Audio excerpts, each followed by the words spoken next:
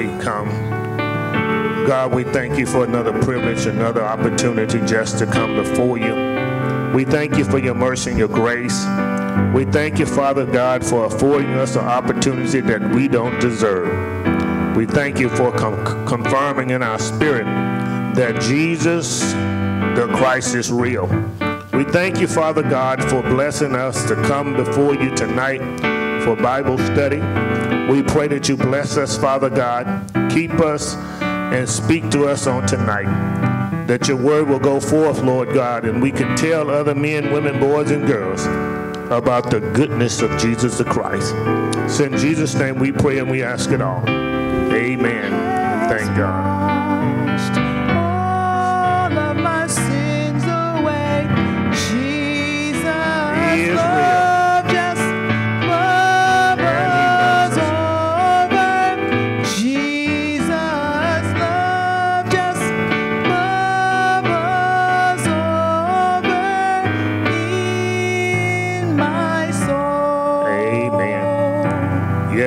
Jesus is real, and he does love us. Amen. He loves us, and we ought to love him. We ought to love him as he has already loved us. For tonight, we're looking at Acts chapter 12. In the New Testament, the book is Acts. The chapter is 12. Acts chapter 12. Acts chapter 12 in the, the New Testament, Acts chapter 12. We'll be looking at the first 10 verses, the first 10 verses, and we're closing out our month of prayer. Of course, we're not going to stop praying, right? We're not going to stop praying, but we're closing out our month of prayer. And so tonight we're looking at intercessory prayer, intercessory prayer, intercessory prayer, Acts chapter 12 there was a, a king named Herod Agrippa the First. Herod, uh, Herod Agrippa the first. Herod Agrippa the first. Herod Agrippa the first. We will find him in Acts chapter 12. And as we look at Herod Agrippa the first, we will find out that he was on the throne and he was the king of Judah. Herod Agrippa the first was on the throne.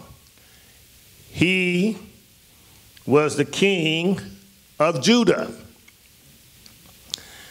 And because he was on the throne, he was a politician. What do politicians do? They do things to appease people so they can get reelected and stay on the throne. So Herod, Herod Agrippa I is on the throne, and while he's on the throne, he is making sure that he continues on the throne. But if you read ahead after you get home, right around verse 21, you'll find out why he didn't stay on the throne. The Bible says he did not give God the glory. And then the worms came and ate him up. Herod Agrippa the first. He's on the throne. His job on the throne was to please the Jews. And because the Jews did not like these new disciples that Jesus brought on the scene, they did not agree with Christianity. So Herod began to harass them. He began to harass them. He began to give them trouble. He had already had James killed. He had James killed. James, the Bible said James, the brother of John, had him killed with the sword. And so then he seized, the Bible said he seized, he caught Peter. When he caught Peter, he put Peter in jail. And he put him in jail in order to kill Peter. Somebody said Peter deserved to be in jail. He, he's a cussing Peter fighting Peter. He's the cutting Peter. But let me tell you, regardless of how bad we have been, we want God to give us mercy, don't we? So Peter was seized, he was put in jail, and the Bible says, during this time was the days of unleavened bread. And so on the Passover, during the Passover period, they are not going to kill people. But the night before Peter was killed, something miraculously happened. Let's look at it. Verses 1 through 4, first of all, it says, Now about the time Herod the king stretched out his hand to harass some of the church. What church? The Christian church. Which church? The first century church. Which first century church? The church that was started because of Jesus' death, burial, and resurrection. The church that Jesus says, Upon this rock I will build my church. And Peter, you're going to be the founding officer. Why did he make Peter the founder? You know, we got some charter members at our churches now, right? We have charter members. And charter members many times want people to know that they charter members. I asked the question the other day. Who was here when the church got started 30 years ago? The charter members raised their hands. My, my, my. So people want to know, want others to know when they are charter members. Peter is who Jesus gave the keys to because Peter did what? What did Peter do? What key thing did Peter do to make Jesus say, Flesh and blood did not reveal this unto you, but my Father in heaven I give you the keys to the church. What did Peter do? He, he identified Jesus as the Christ, the Son of God. So check this out. Jesus asked the question Who do men say that I am? Some say you're Elijah. Some say you're John the Baptist. Some say you're John. Peter says, you are the Christ, the Son of the living God. Jesus says to Peter, Peter, Flesh and blood did not reveal this unto you, but my Father in heaven.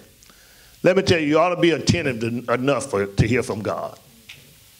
You ought to be attentive to God enough to hear from Him. So he says, Flesh and blood does not, did not reveal this unto you, but my Father in heaven. So the church is on the move now. The disciples are scattered. Why are they scattered? Because the king is out to kill them. You remember when Jesus was born, a different Herod was on the throne and he wanted to kill Jesus? Let me tell you, Herod is not dead, he's still alive. Herod still want to kill Jesus. Even though Jesus gone on back to heaven, sitting on the right hand of Father, Herod still want to kill Jesus, want to kill those who represent Jesus, and want to kill the spirit of Jesus. Such it is in the text. James have been killed. Peter has been arrested. But there's a key thing here. While Peter was in jail, they delivered him to four quadrants of soldiers to keep him. Why so many people? Intended to bring him before the people after the Passover. Four quadrants. What does that mean? Four quadrants. He delivers, Herod delivers Peter to four quadrants of soldiers. What does that mean? Okay, a bunch, that's a good number. Anybody else can get closer than a bunch? Okay? Four quadrants, right? Four quadrants. How many is a quadrant?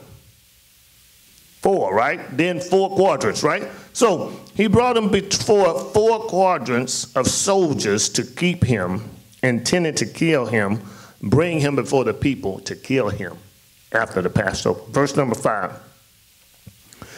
Peter was therefore kept in prison, but constant prayer. How much prayer?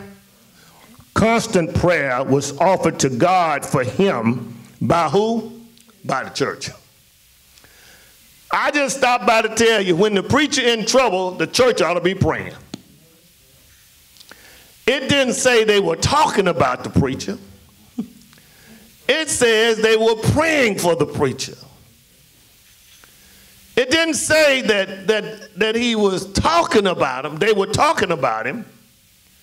It didn't say that they were they were saying, I knew that joker wasn't no good anyway. It didn't say that the church said, I knew they were going to get him. The Bible says that the church was in consistent, constant, over and over again prayer for the man of God. They kept him in prison. Not jail. What's the difference between jail and prison? Some of y'all know. Some of y'all been there. Mm, okay. Somebody knows. I've had a few, uh, so you go to jail, you're going to get out soon. They tell me now if you get some tickets and you can go sit it, sit it in over sit in on the weekend, you don't even have to pay the fine. That's if you go to jail. They said you can just sit it out. Your ticket can just sit it out. But some of the people don't want to set it out. They just want to run wild, run wild, and, and, and do whatever they want to do, park where they want to park, speed where they want to speed, act out where they want to act out, but they don't want to go to jail. But they tell me, they tell me that you can go sit it out one weekend, two weekend, three weekends, you can just sit it out. You don't have to pay any money. Is that right? You can just set it out in jail. Want to set your time. Look at this. Somebody got the right language down. You're going to set it out. So we, when you set it out, you don't have to pay for it. So some people want to just set it out. Why do they want to set it out? Because they don't want to pay the money, right? So when you go to jail, you, knew so, you know sooner or later you're going to get out, right? Well, you're going to get out soon, I'll put it that way. But when you go to prison, you could die in prison. You're going to be there a long time. You're going to wear one color. We went to Mississippi and we were sitting, sitting in court, and I had my, my wife with me. And we were all sitting on one side, a group of people sitting on this side, Sister Brown. Bunch of people, about 40 people sitting on this side. And they all, Brother Miles, were dressed just alike. And my wife, who probably never been to jail, never been to prison, she said, Who are all those people over there? I mean, all of them. Every last one of them. And Fort Bend County, they got white with big old green stripes on it. In the prison system in, in Texas, they have white clothes all, all the way through, all over. Well, in Mississippi, they got on big old orange uniforms. And Sister Davis thought they were the choir to sing that day, I guess. She said, who, who are those people? Who are those people over there? I started to tell her, but the Lord wouldn't let me. I started to tell her that's, that's the guest choir that's going to sing for the judge today. I said, You for real? You, you really for real? And I said, well, say, you don't know who those people, and then she began to ask more questions. I said, you need to be quiet in court now. We'll talk to talk about it after because this is going to be a, a lengthy lesson, I believe. So these guys had reported from prison and they came to court to see what the judge would give them. And 99.9% of them went right back to prison with even more time on top of what they had. And, and in, at least in Texas, when you, when you get arrested, they let you walk in the back room and they put your handcuffs on you and stuff like that. In Mississippi, they make you, they got two chairs facing the wall, facing this way from the wall. They tell you put your, put your knees in the chair. You facing the wall, you this far from the wall, you facing the wall, you with your knees in the chair, and you in court in front of everybody. And when you put your knees in the chair, they're about waist high. So the, the bailiffs come by and he shackle your feet right there in court. And then he tell you, stand up. When you stand up, they handcuff you with your hand behind you. And then, for those that's going to be there a long time, they got a big old chain wrapped around their waist with handcuffs welded on this side, handcuffs welded on this side. And when they walk, they play a lullaby together. You can hear them coming. I'm talking about prison. So Peter was in prison. He wasn't on parole, he wasn't in jail, he was in prison, and he was going to prison to die. He'd already been sentenced to death. What was the church doing? The church offered constant prayer for Peter. If the church is going to be the church, the church must pray. The church must be called a praying organism, not an organization. An organization is something that have board members, have, have paid members, or have people who attend on a regular basis. An organism is a living, breathing, moving organism. Living, breathing being.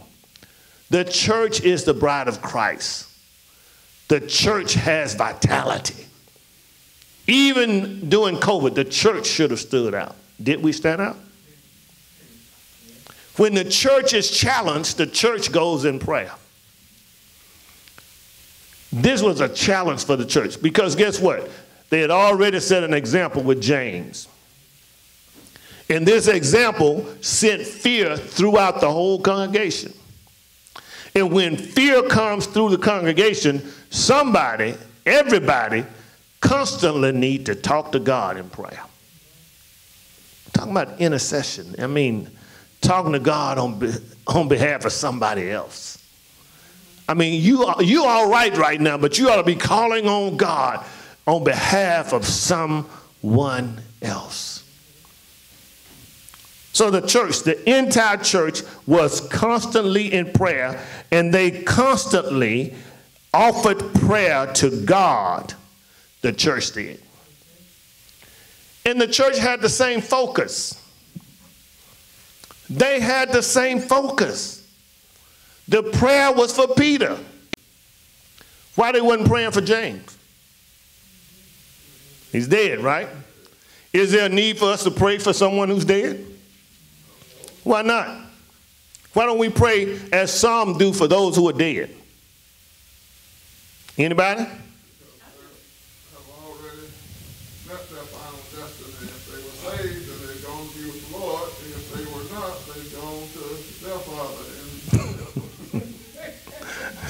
They've already gone to their final destination.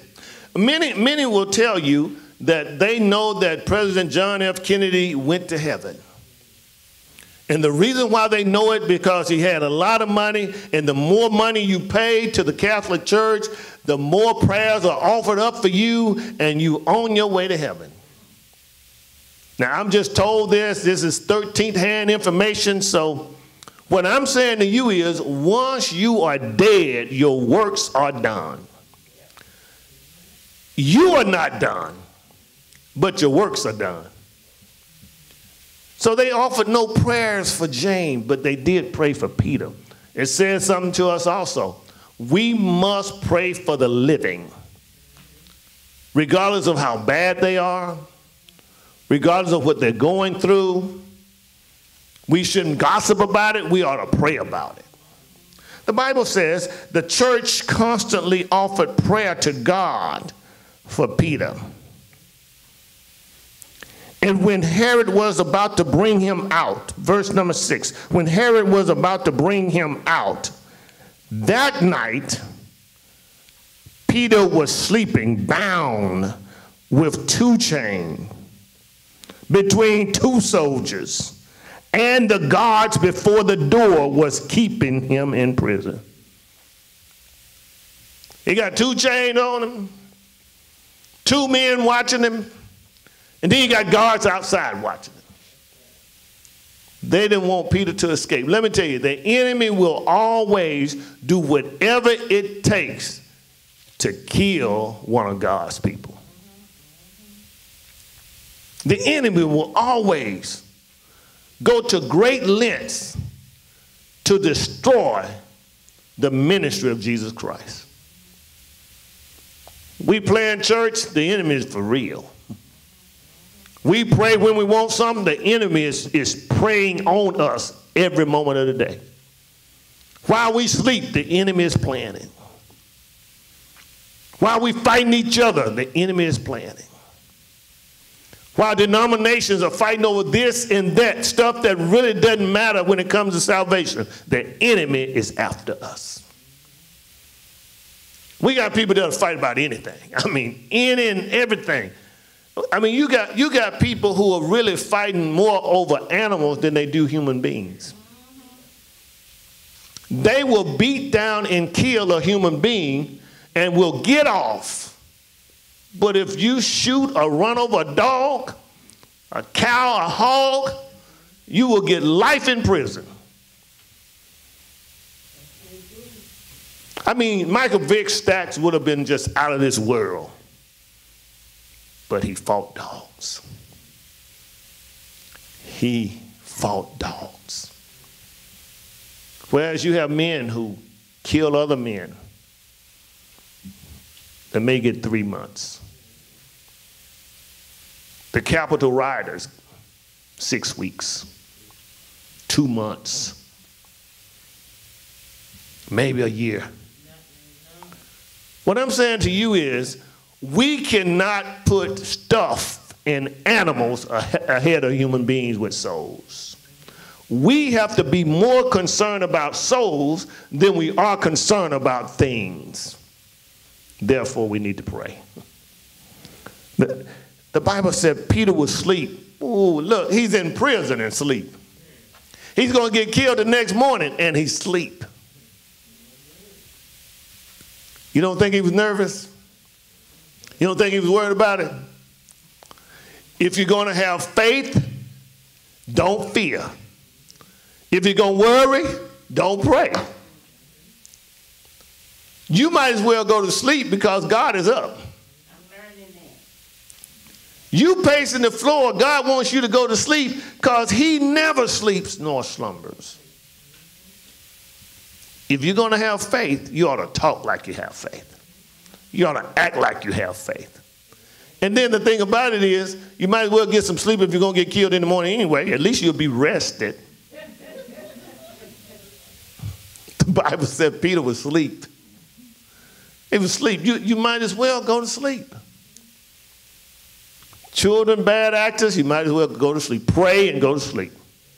The Bible said Peter was sleeping and he was bound while he was asleep. I see guys tussling with police officers. I mean, make it light on yourself. The city of Houston got way more police officers than you can take down. I see guys run away in cars. I mean, you can't outrun a radio transmission. You can't, you can't, you, they just let you drive and they just ride behind you. I used to wonder why they just ride, slowly ride behind you. They're not making any moves. They're setting up a strategy, first of all. And then sooner or later, you're going to run out of gas. So one of them take you from South Houston to North Houston, he bags off, then somebody else picks you up. They will never run out of gas. At the first of their shift, they gas up and they let their car run all night. And I watch guys that come to the conclusion that I'm going to whoop all these police officers. Are you with me? Peter was asleep, Peter was bound with two chains. He was between two soldiers, and then he had guards before the door, outside the door, keeping him in prison. Peter looked at him.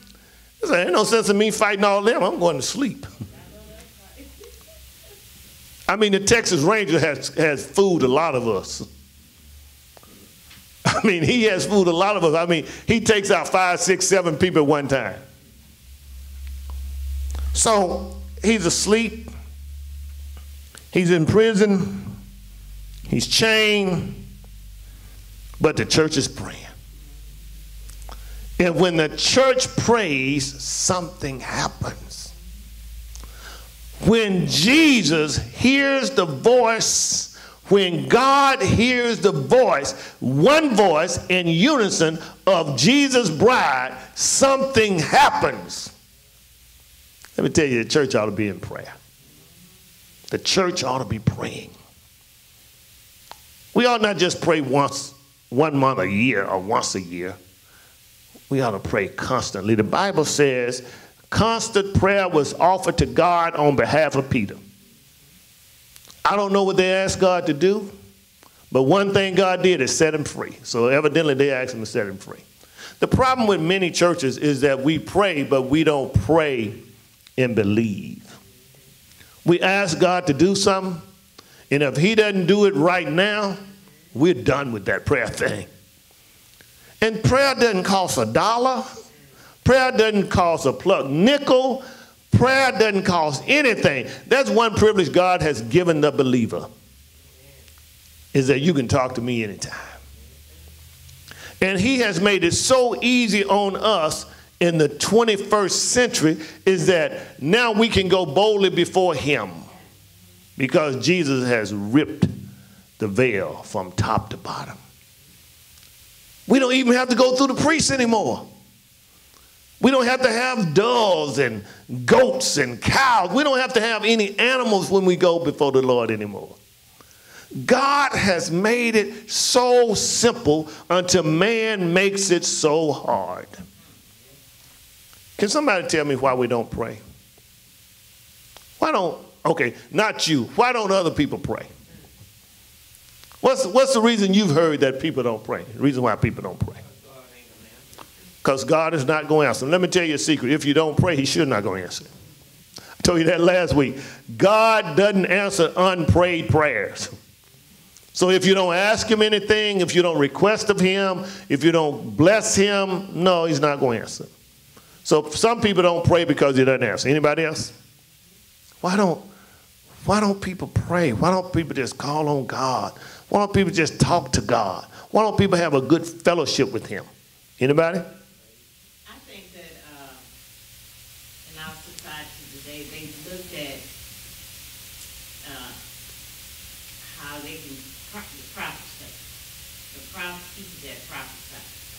And uh, they think, well, and they want everything right now, as you said. But I pray with God's people. I, I need to, but I think they don't because they just don't believe. Okay, they don't pray because they don't believe. That's another reason God doesn't answer with our prayers. Because we don't believe. We don't pray because we don't believe God is going to answer. We don't pray because we don't have faith that God would answer. Anybody else? Some people think they can handle it themselves. Oh, people think that they can handle it themselves. People think that they can handle it all by themselves. And let me tell you, there are people who are narcissists, that are narcissistic. They believe that they got up by themselves. They believe that they can do everything by themselves. And they believe that they can keep themselves. Let me tell you, we need people who are praying. Coach L.M. Brown, Coach Leonard M. Brown, was my basketball coach at Gentry High School 40 some years ago. And he wasn't a church going man. He didn't talk about God all the time, but he did. He said two things that, that stood out. If somebody was getting in trouble, he said, Sit down, Nicodemus. Sit down, Nicodemus. Nicodemus, sit down. Everybody was Nicodemus that got in trouble. The second thing he said that stands out even 45 years later, he said to me, and he said to others, the only reason the earth is still spinning on its axis is because people are still praying. He said, if people stop praying, the earth will stop spinning on its axis. He said, the only reason we still exist is because people of God are praying. If that's the case, can we pray and things still happen? If that's the case, and I believe that the late L.M. Brown was correct, I believe Coach was right, I believe that he was spot on when he said the reason why the earth is still spinning on its axis is because there are some God fearing people still praying. People of the church ought to pray. So the text says that they were in prayer for Peter and they were off in constant prayer. They didn't stop praying. That didn't mean that they didn't stop and eat. That didn't mean that they didn't stop and sleep, but they were in constant prayer. But the problem with churches that pray, we don't believe that God would answer. I oftentimes tell the story about a church that would walk out of the community down to the church every day. They were praying God send us some rain. The church, if anybody gonna pray for rain, the church ought to pray for rain. It was a drought. They were farmers. They were farmer wives, farmer children. They farmed on the land. They grew their own crops. So every day, they would leave the neighborhood and walk down to the church and they would pray. Every day they were, they was the wino was sitting on the porch watching them. Every single day. After the wino watched them for seven days, going to the church, he stopped them on their way back. And the wino said, Y'all don't believe in prayer. So what do you mean? We do believe in prayer. Why do you think we're going down to the church every day praying? He said, Because you don't believe, and I know why you don't believe. And I'm going to tell you why I say you don't believe. You don't believe that God is going to answer your prayer. Why you, why are you praying? We're praying for rain. You don't believe that God is going to answer your prayer. Well, why you say that? They tried to brush the wino off. He said, because I don't see not one of you all with an umbrella. If you believe that God is going to answer your prayer, you would have had an umbrella when you walked down there. You would have believed the first day you would have, y'all would, all would have packed umbrellas down there. But because you didn't believe, matter of fact, I know you didn't believe, and guess what? God is not going to answer because you don't believe. The third reason prayers don't get answered is because James says we pray amiss. We pray with the wrong motives. Here we are asking for God to do something for us, something that we want, something that we need. We're praying that God does it for us, and guess what? We praying with the wrong motives in mind. We praying so we can get our stuff. We praying so we can get things that, that we want. But when we pray, we ought to pray that God is glorified. That's what baby blessings are all about. That's what, that's what it's all about. When you bring baby before the Lord and ask the Lord to bless him, you're giving God back. This is a symbol of it. You're giving God back what God has already given you. And you're asking God, God, have mercy. Bless what you've given to me to be given back to you. Bless what you've given to me to glorify you, Lord.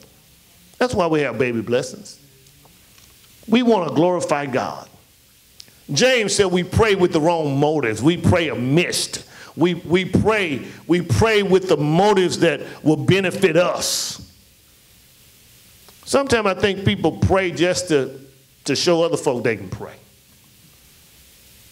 Sometimes people in the middle of their prayer, they stop talking to God, start talking to the people in the pews.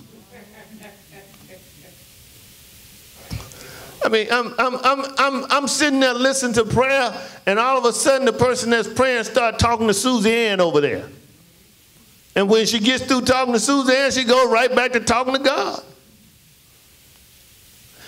And when people pray amiss, sometimes they pray, and when they pray, they want to make sure that folk hear them. And then they have the audacity, the gall, the nerve to say, What kind of prayer did I pray? Did I pray a good prayer? What's a good prayer, Brother Miles? What's a good prayer, Sister Davis? What's a good prayer, Sister Woods? What's a good prayer? Brother McGill, what's a good prayer? Should we be asking people, did we pray a good prayer? Why not? We're talking to God, right? That's right. So, this is the question Do we pray differently when we're praying in public than we pray in secret? Does our, is, are our words different? Are our mannerism different? Is our voice tone different? And let me tell you something. Back home, the old deacons could pray. Boy, you could feel it felt like fire gonna come from heaven at any time. They knew how to call on God. But this is what I found out. Those same men that called on God on Sunday morning, if you walk past their house, you hear the same enthusiasm as they're on their knees in the morning and on their knees at night. They prayed with enthusiasm in private as well as in public. Is your prayer life different in public than it is in private? Do, do you pray with enthusiasm so people can hear you? Do you pray with enthusiasm because you want God to know that you're enthusiastic about Him? James said we pray amiss. We pray with the wrong goals, the wrong motives, and the wrong challenges for the wrong people. We're talking to God. I always say, I'm singing to the Lord, Brother Miles. I'm giving back to God what God has given to me. And I always say, I'm not, I'm not singing for you, I'm just giving back to God what God has given to me. So we ought to be pray, prayerful. We ought to pray consistently. And we're talking about interceding in prayer. Verse 7 Now behold, an angel of the Lord stood by him. Stood by who? Peter and a light shone in the prison. Obviously, it was dark. It was dark. A light shone in the prison by him. And he struck Peter on the side and raised him up, saying, Arise quickly. Now, let me tell you, this wasn't a little timid angel. This angel walked in there past four quadrants of gods. this angel walked in there past the, the guards was out, that were outside of the prison. He walked past the guards that were right outside the door of the prison. This angel walked beside the two guards, walked right past the two guards that was right there with Peter. And check this out. This angel didn't even, it didn't matter to this angel whether he was shackled, chained, or handcuffed. This wasn't a timid angel. God knows who to send to get us blessed. God knows who to send to bless us. When God wants to deliver us, God knows how to deliver us. We've been waiting on God to deliver us all these years. Guess what? God knows, God sees, and God will deliver. That's why we pray. We pray because God is the one that's going to deliver. Well, I'm trusting Him to deliver. Doctors are, are sorry now than they ever been. And this was before COVID 19.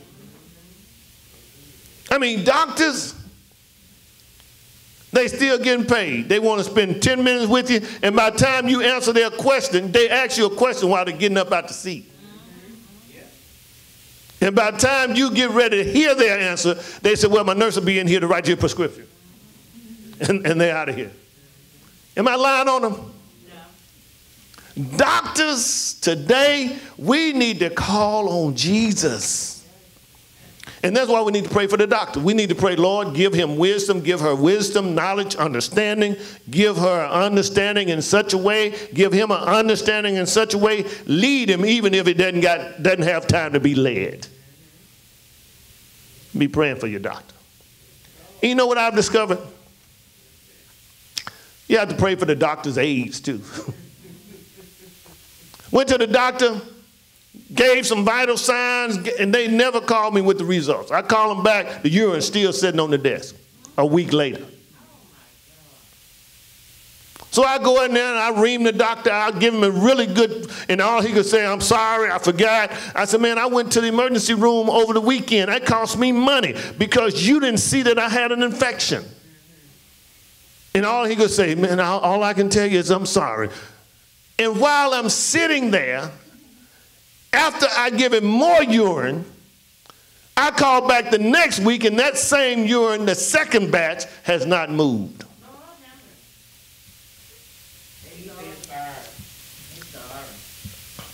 Doctors. Doctors. And this is after I'd gone to the, to the emergency room, after I talked to him real, real harshly. She didn't get the next one taken care of either. God knows where to send you. That's why you need to be praying. God, send me where I need to be. Bless me to see who I need to see. God, order my steps in your word. God, make sure that I come in contact with the right person who will treat me right, do me right, act right. Lord, make a way out of no way. Thank you. One preacher says, The angels of the Lord is watching over me. So when he got ready, I went to the revival. He got, he said, he said, when he got out the car, he said, Now, some of you angels stay here with my car. Other you angels help my health to stand up during the revival. And the rest of y'all just come on, go with me. God has an angel. He has angels who watch over us all night long. And because God has angels, we need to understand we have to pray. Spend some time with God. I know that we're in a microwave situation here. I know everybody want everything right now. God, do it right now. God, do it. Please, God, do it right now. But sometimes you got to spend some time alone with God. And then we need to be interceding for other people. Matter of fact, other people ought to call us every now and then and say, I need you to intercede for me. I'm in a tough situation. I'm in a tough spot. I, am going through some things. I'm about to make a decision. Somebody ought to call you every now and then because they know you're a prayer warrior. I'm convinced that those who call themselves prayer warriors are more talking warriors than they are prayer warriors. I didn't say the church was in talk, the church was in prayer. And when the church is in prayer, things happen. When God, when God blesses, He blesses the church that prays. I want to be a part of a church that prays. It, it did so. It did me so so. It did me such a. It was such a good thing, good feeling when the lady who had left the church came back to our church and said, "This is the church that prayed for me last time I was sick." And even though and I'm paraphrasing, even though I'm at another church now, I came back to this church because I need you all to pray for me. Now, does that, that mean that God always answers our prayer the way we want him to answer? No.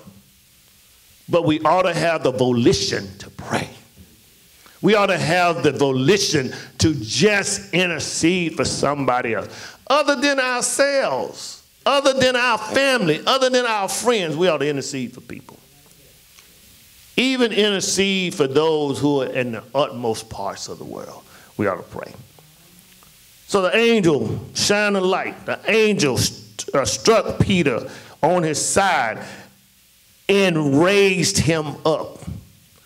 When God want to bless you, sometimes he can't put it in your hands.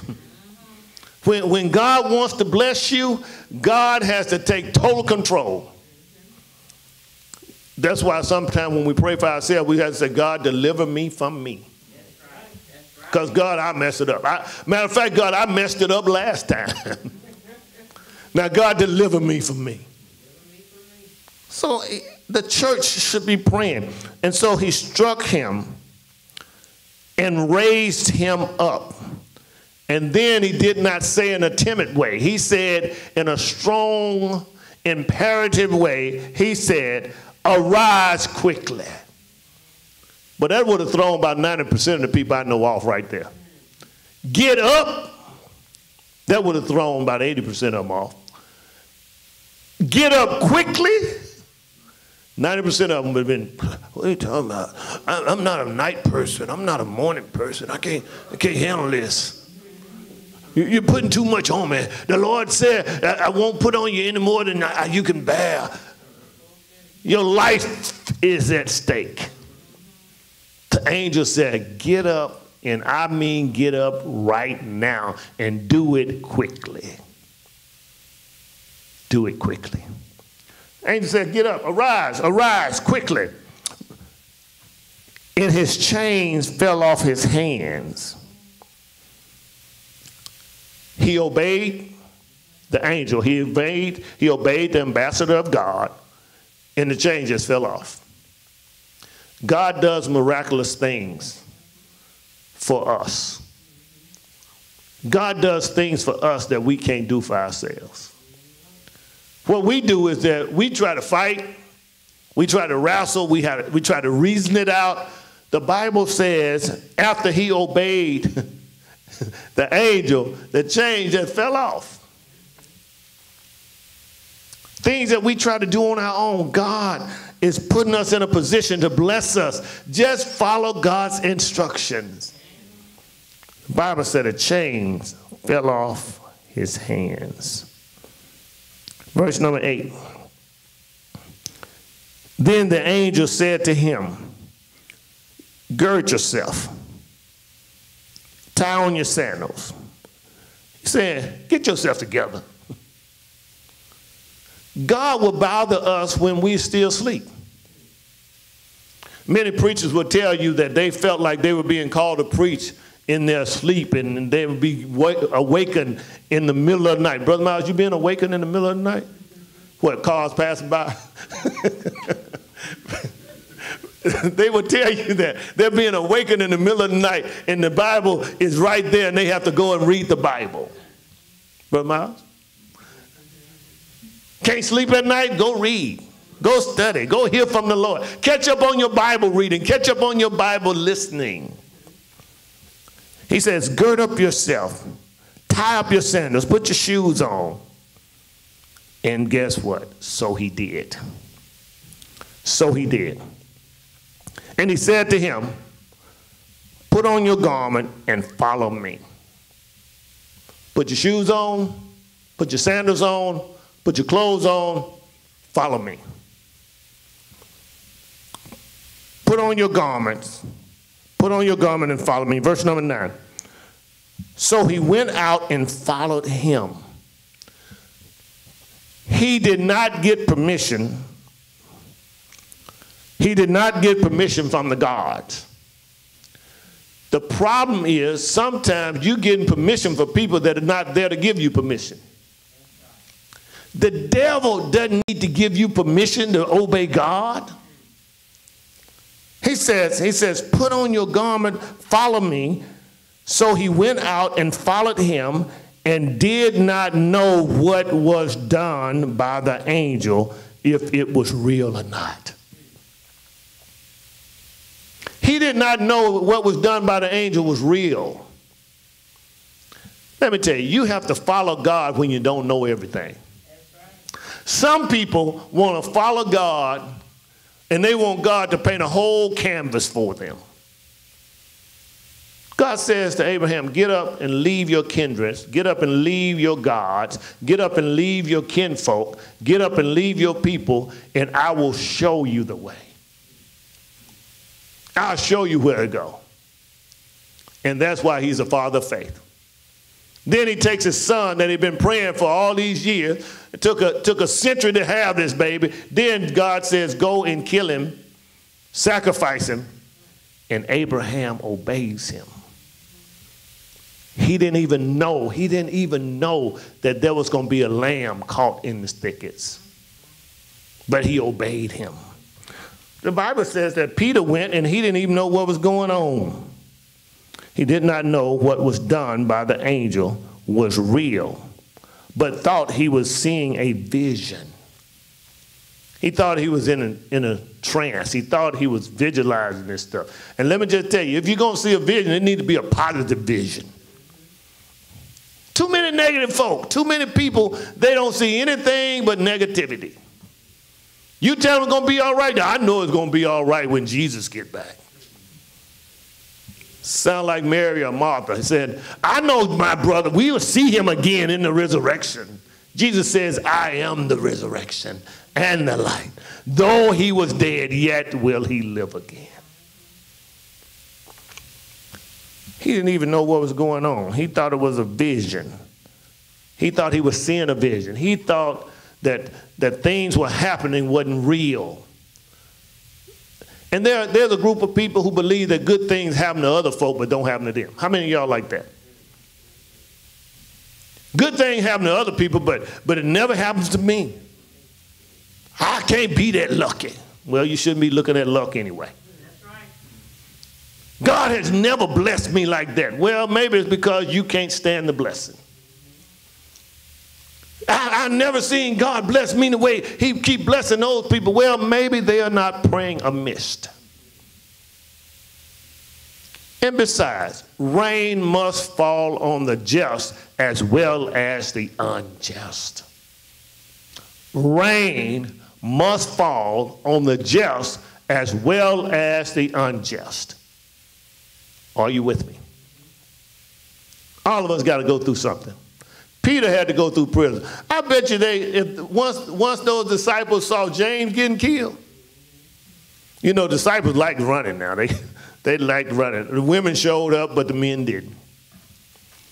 The disciples, the disciples saw James get killed. Now Peter's in prison, but Peter had the nerve to sleep. So the Bible says that he didn't know whether it was real or not. He thought he was seeing vision. Then verse 10 says, when they were past the first and the second guard post. In other words, he, they passed two stations already. When they passed the first and the second guard post, they came to the iron gate that led to the city, which opened and opened to them of its own accord. What is he saying? They didn't walk up and say, Open sesame. They didn't walk up and say, ding, ding, ding, They walked up and God opened the gate. Let me tell you something. God, He specializes in opening iron gates. Are you with me? Boy, that would preach, wouldn't it? God specializes in opening even iron gate. It wasn't a wooden gate. God just opened the gate. When God want to bless you, he knows how to open the gate. When God wants to do things for you, he knows how to create miracles for you. When God wants to bless you, God can bless you like nobody else can. The Bible said he opened the iron gate that led to the city, which opened to them of his own accord. And they went out. When God opened the gate, you better go out. Some folk got, got trouble with their friends, their families, got trouble with their loved ones, with their significant ones. They got trouble, and guess what? They get out of the trouble and get right back in. The Bible said that Peter got out there and he went through the city. When the gate is open, and, and guess what? It doesn't say that Peter looked back. Some people come to the conclusion, like, like Pharaoh, I want one more night with the frogs. Well, do you want me to take the frogs away? No, give me one more night with the frogs. I want to be cursed one more night. the Bible said that the gate was open and, and they, the guard, they went past the guard post. They came to the iron gate, and, and this gate led to the city, which was open to them of its own accord. And they went out and went down one street, and immediately the angel departed from him. When God is through blessing you, God disappears. when the angel got through, the angel just left. My job is finished here. Isn't that something? God has a way of blessing us, even in spite of us. Even in spite of your cussing, even in spite of your fight, your fighting, even in spite of your fussing, God can still bless you. That's why when we give the invitation, doesn't matter what you've done, God is able to bless you. God is able to use you. Regardless of your, your circumstances, regardless of lack of money, God is able to use you. God is able to bless you. Children talking about money to go to school, just go to school and keep praying. Keep praying. I made it through every last one of my degrees on other folk prayers. Intercession, church praying for me. Praying. Just one librarian back home, Miss Russian, Miss Miss Russian made the statement my senior year. She said that Matthew Davis would do good at a big school, but he can't afford it. And she was right. You see how children, Sister Brown, what children do is their junior and their senior year, they want to tell people how I'm going to University of North Texas, I'm, I'm going to TSU, I'm, I'm going to these big glamour schools, I'm going to University of Texas. And then they get started and they get, this ain't for me. That's why I tell everybody, junior college, community college is four times cheaper. The same degree that you can get associate, you can get an associate and move right into your career. And that same two-year study is four times cheaper. It doesn't come with the glamour and the grandeur that everybody's looking for. But you're not here to impress people. You're here to get an education. And those same ones, many of them, have to come back. HCC becomes very attractive or the streets become attractive, or jobs with low pay become attractive. The Bible said we pray amiss. We, we pray with the wrong motives, and many times we act out with the wrong motives. We got to be like the first century church. The first century church, when they got in trouble, they had a relationship with God, a fellowship with God, where they went down in prayer. We can't be like the Israelites. We pray as long as things going well, or we pray as long as we need something. The Bible said this church was constantly in prayer. Constantly in prayer. Over and over again, they constantly praying. They constantly praying. And they had, they were praying on one accord. And because they were on one accord, the gate opened on its own accord. The Bible said the gate, the gate opened. This iron gate opened because the church was in prayer. will you find somebody else you can pray with? somebody else you can, for which you can pray? Intercede for somebody. Because you got yours, make sure that somebody else gets theirs. Teachers have become sorry. Parents have become, teachers have become sorry because parents have become sorry. Yeah, doctors, teachers, these are the greatest professions ever. Teachers make all occupations happen, right? But guess what? They can't teach because they got to be a referee. They can't teach because they got to fight parents. No teacher ever had to fight my mom and daddy. And whatever they said was true. They could make up the biggest black ugly lie they could, but mom and daddy considered it gospel. Now we got parents fighting teachers. Jesus paid for it, for our right to pray. Gave his life for it on Calvary, died and rose for it. And we ought to call on him. The door of the church is open, the invitation's extended. You ought to come to Jesus. He is able to, to hear your prayer and answer your prayer. Will you try him? If you've never received Jesus as your personal Savior, this is your moment. Why don't you bow your head with me and invite him into your life and ask him to be your Savior, and he will be your Savior and your Lord. Just say, Lord Jesus, I believe that you are the Son of God. Now come into my life and make me a new person. I believe that you died for my sins. I believe that you rose from the dead. Thank you for saving my soul. In Jesus' name I pray. Amen. We believe if you honestly prayed this prayer, and invited Christ into your life, you're now born again. And when you die, you're on your way to heaven. If you want to be a member of the New Beginning Church, which I recommend, you can be a local member or a global member. I invite you to come and join us at 4251 Schurmier Road, Houston, Texas. That's 4251 Schurmier Road, Houston, Texas.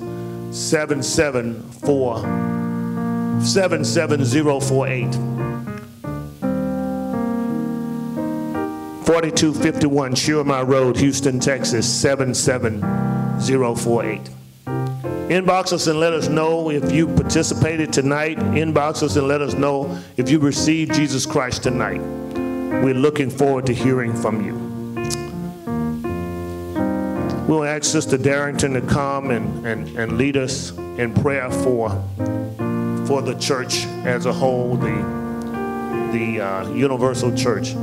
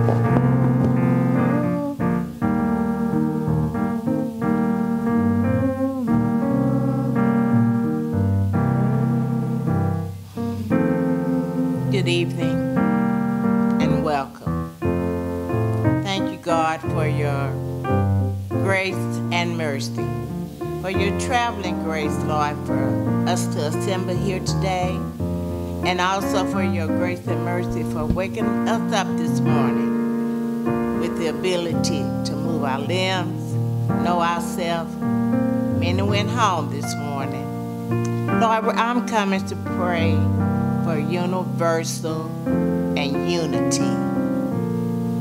Unity is coming together as one. I pray this prayer, Lord, as humble as I know how. We are in such turmoil in our world today. children against children, parents against children, children killing each other. A six year old, Lord, killed a teacher the other day. Lord, grow them nearer. Let them know that you are the one, you are our Savior. Lord, let them go back to their roots. Let us all come back to our roots, Lord. Lord, I'm praying for those that may be bereaved tonight, Lord. I'm praying for those that don't know you in the pardon of their sins. Give them strength, Lord. Open their eyes. Let them see that there's only one way to heaven, and that is through you. Lord Jesus, I may not be praying the right prayer, but I'm praying the prayer that I feel in my heart. Lord, lift me up and show me the way. I need you, Master. We all do.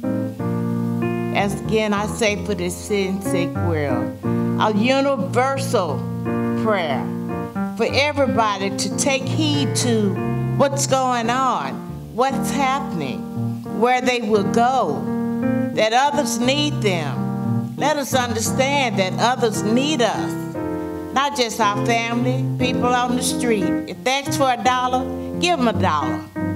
It won't hurt you none. Don't let anybody stray you and say, oh, they got government things for them. Lord, because you don't know what angel you put in my midst. So I'm will go ahead and do that. Lord, I ask that you keep me and keep us all here, Lord, in your hands. I've had many trials and tribulations, Lord, but you keep bringing us through. Our church as well. Lord, I'd like to ask you to keep the young children that's here in our church. They are future. And they are so brave. Lord, keep them, their parents, to keep bringing them in and knowing the Lord. Lord Jesus, I ask you to guide me and lead me and keep us all in prayer. We were given a book, Lord, to study from Genesis to Revelation. Let us pick up something in there that'll touch the whole world. The whole world, if you're listening, read it. At least Genesis. God created the heaven and earth, and it was good. Just let people know that we didn't come here by ourselves or just fly down. And if you were brought up in the church, come back to church. I'm calling, speaking to the absentees. On our calendar, it says, don't be an absentee, be an attendee. That means get out of the Facebook. Come on to church. It's safe. If we're still coming, it's safe. It's okay to take the test. Lord, show people that you made that provision for them and that they should take heed. We should all take heed. Take care of ourselves. God's going to do it, but we have to go ahead and step forth and do it. In the mighty name of Jesus, I pray this prayer. Lord, show me, show us all the way that we should go. And, out and Sister Davis pray. Somebody prayed for me. I know they did. I'm getting a little happy now. So I'm going to go ahead and say, Lord, thank you. Thank you, Lord. Touch the world, Lord, everywhere. Hurricanes, tornadoes where they never saw it before. But they, oh, I just don't know. Let them know that was you. You're trying to show them something. You're trying to show us all something. So take heed. Meditation. Some would say they meditate. Oh, they I read the Bible. Jesus wept. Why did he weep? You have to know why he wept. So thank you, Lord, for me having a chance to come and speak to you, for everyone. Amen.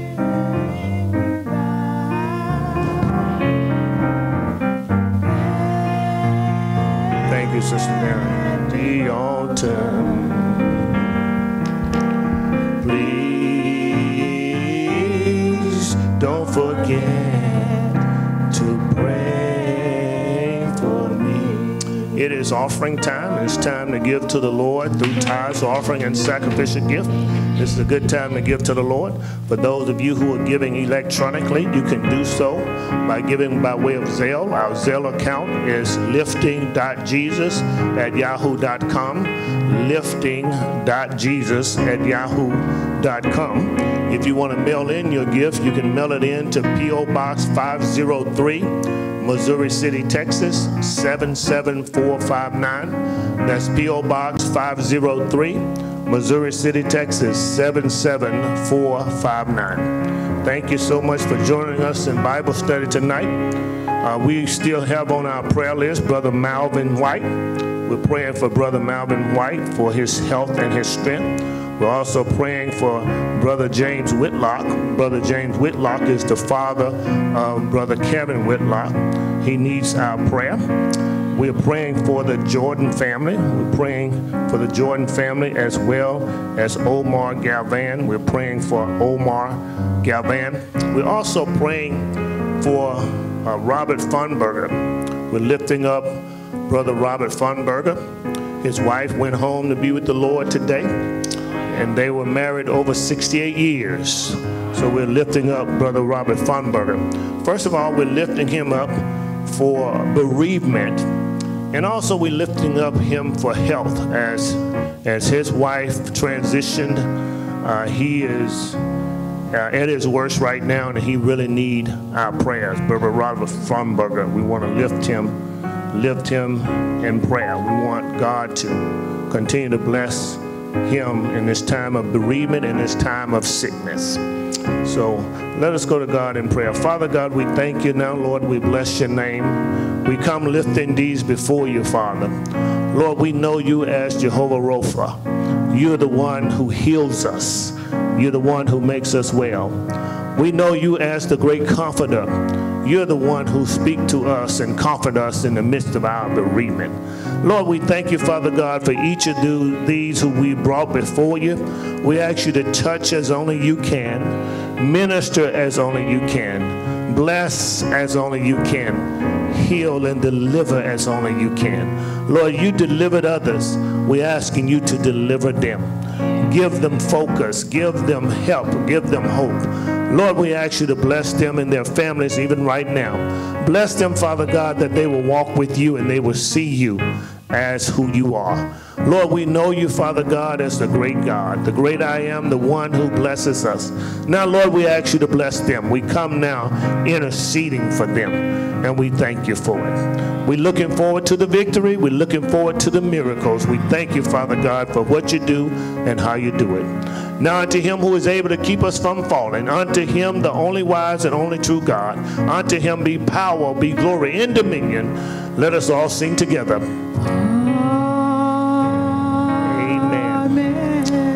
We are uniting the church, strengthening families, supporting schools, and empowering neighborhoods to impact the world as we are reaching souls by lifting Jesus.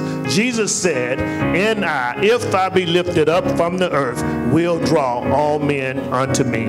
John 12 and 32. God bless you and God keep you is our prayer.